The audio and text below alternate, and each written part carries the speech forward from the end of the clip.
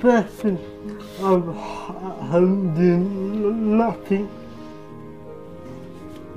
getting bored of my head.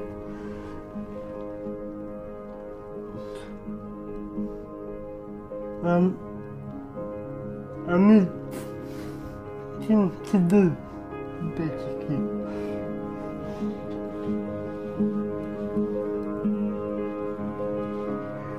I don't know how someone work done with the simply. Um, then I thought, let me get a job now. I know I can do this. Now let me get a job.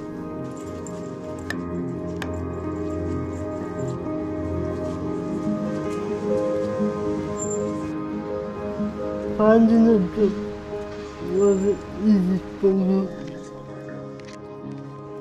About five years I've been searching for a job.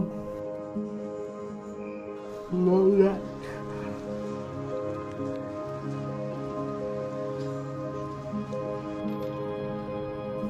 I went to the job centre, they I didn't like them. Were out of the. They didn't find me a job, but me a suitable job.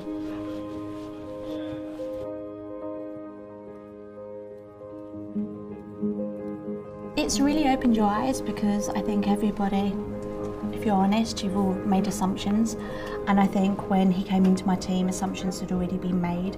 And so it was trying to learn from the very beginning of what his abilities were. He's a fantastic worker and he's not afraid to ask questions. He's hardworking. You know that you can trust him with a job to complete it to the end. And if anything, he's continually chasing me saying, I've done that now. And it's like, okay, let me try and find something else because I've sort of underestimated the time that it would take. I didn't want him just kind of coming in and pressing buttons and not really understanding. I wanted him to be an integrated person within our team.